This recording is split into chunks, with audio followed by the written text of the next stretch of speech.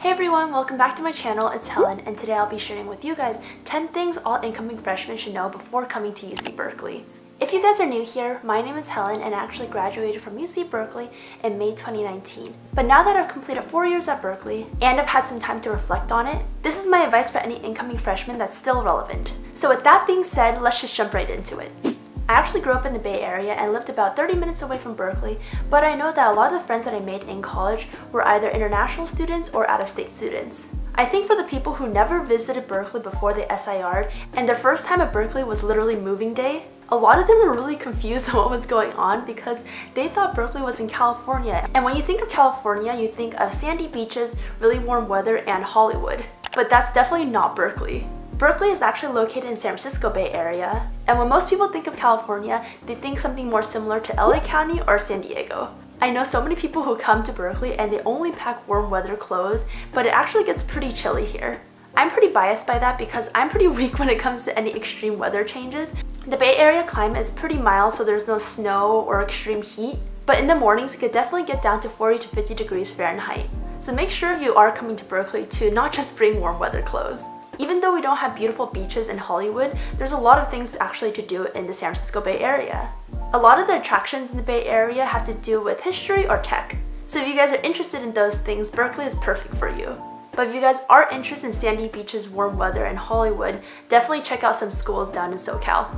Because I know you guys are signing up for housing right now, another thing to note is that none of the dorms or apartments are actually located on campus.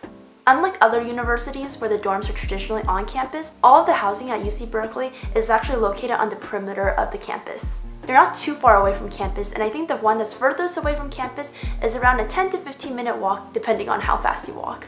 I've got to say the most popular dorms I think are Unit 1, Unit 2, or Unit 3. I think that's because the units are super close to where the majority of freshman classes are held, so for example Dwinelle Hall and Wheeler Hall. I think last year they opened up Blackwell, which is right across from Unit 3. So I think the three units as well as the Blackwell dorms will probably be the most popular choice for most incoming freshmen. I know a lot of athletes live in Clark and people who want to have a larger room. The Clark Kerr rooms are much bigger than the unit rooms.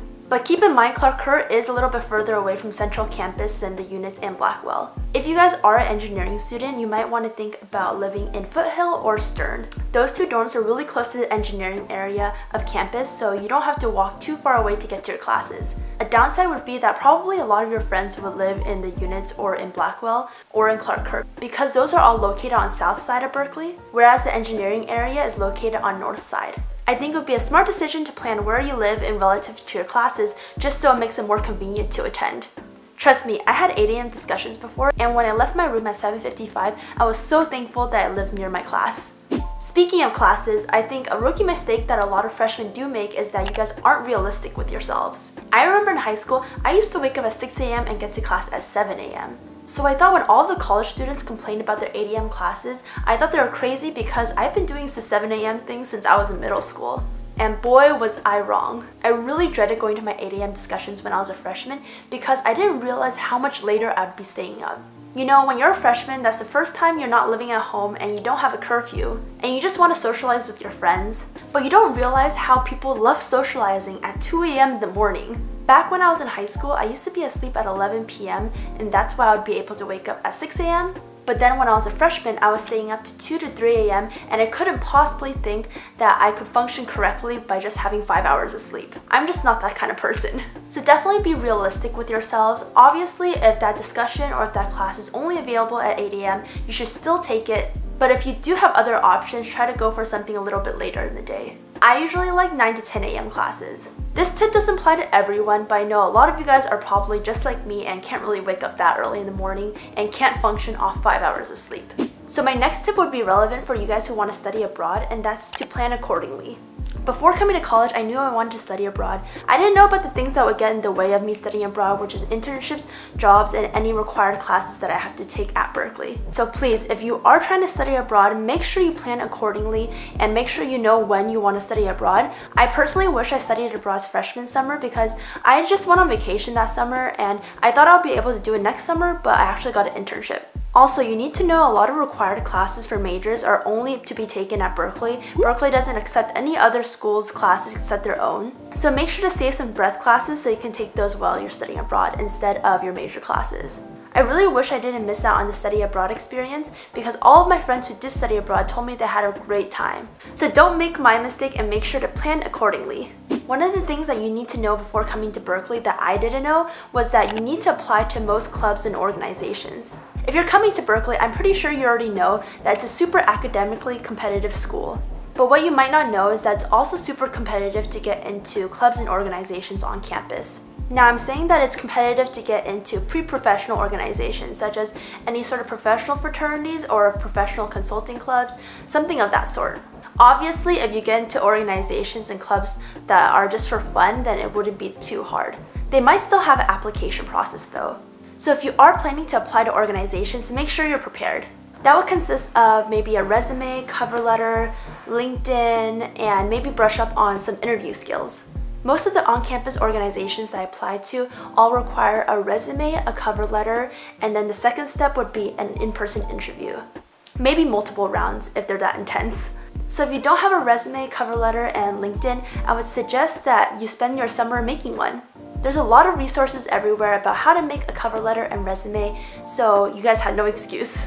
Also, I really recommend asking someone who's been through this before for any feedback on your resume and cover letter just so you can make it even better. So one of the most valuable things that I learned in college was that relationships are super important, not the romantic kind. The romantic kind can be important too depending on who you are. I'm talking about the relationships that you foster with your professors and your TAs and your peers. I learned that it's really more about who you know rather than what you know. Especially at a top university like Berkeley, the professors are super highly regarded in whatever industry they're in. So whether you're planning to go into that industry or going to grad school, it'll be really important to foster a good relationship with at least some of your professors. Also, TAs and office hours are super underrated. First of all, it's important to foster relationships not only with your professors but also your TAs. They're usually the ones that are doing most of the grading and can probably teach it to you better than your professor can. Because a lot of them are undergraduate and graduate students, they're dealing with this material firsthand.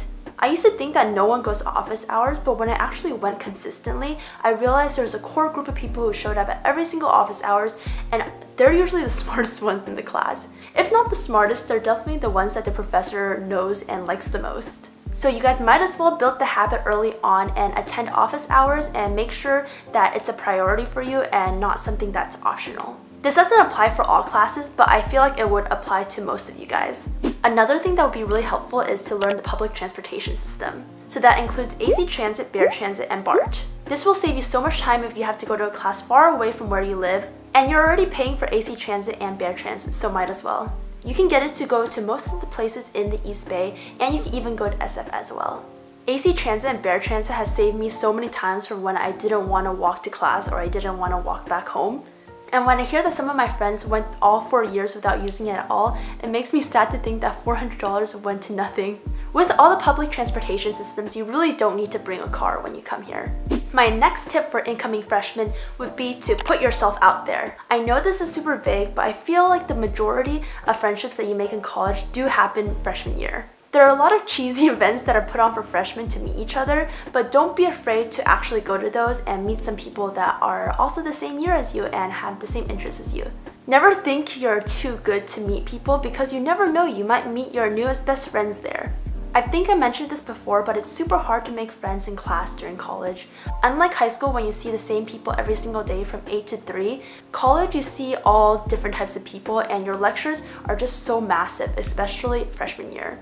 I was in a lecture that was filled with 500 people and I always sat next to a different person every single time. And if you think about it, you're going to these lectures two to three times a week and these lectures are probably filled with 300 to 500 people and everyone's taking notes for the entire hour. It's probably unlikely that you're going to meet friends there.